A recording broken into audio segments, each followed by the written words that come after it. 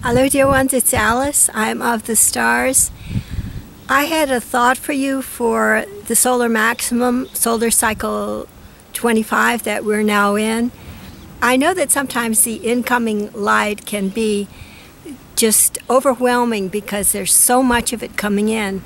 And uh, sometimes that causes feelings of stress or anxiety or upset or fear or uh, anger or, or like that because because it's something brand new and uh, and unexpected, unknown. Um, when that happens, it's good to keep in mind that though we may doubt ourselves, uh, what is really happening during these processes of the incoming light is, is what is termed in psychology self-actualization. It's, it's, it's true, it involves a breaking down of the old, but it also involves the restructuring of the energy system so that we can experience a whole new you. You know what I mean? Something grand and great and different and and very fine is in the making. So even though it may seem that at for a moment or two that that everything is going south, that's not really the truth of the issue.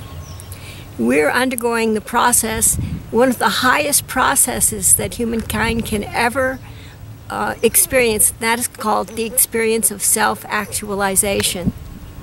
Now, here's the rub if you tell that to a psychologist or a psychiatrist, they'll go, eh, what does this guy know? Why would they say that? It's because, now just think about this the majority of human beings have not yet integrated at that higher level. And many psychologists and psychiatrists don't really know what that means, even though in their psychological texts they've read about it.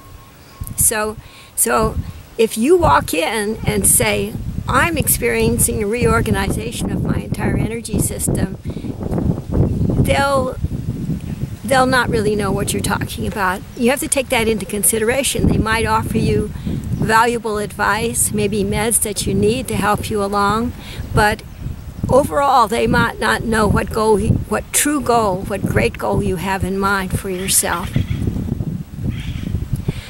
And the other thing is this I remember Peggy Black, spiritual counselor, used to say a lot that if the light is too bright coming in, well, she may not have used these exact words, but she used to say, if the light is too bright, uh, or if what's coming to you is too much for you right now, if Spirit has given you a little too much to deal with right now, all you have to do is say to Spirit and to your ascension team that you would like to put it off till later on, or that you would just prefer not to deal with that at all for the time being.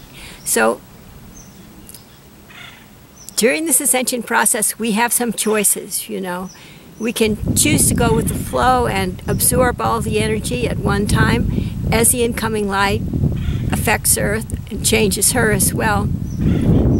And in that case, we might need to seek help because it might be kind of rough ride for a little bit, but keeping in mind that the goal is self actualization, a much greater experience of self. Or we can choose to put it off for a while. That's perfectly fine. And you know, once the light comes in, it's there in your energy field waiting to be unfurled at whatever time you choose to accept it. Well, that's all for now, dear ones. God bless you all and keep you safe and be with you through all your days.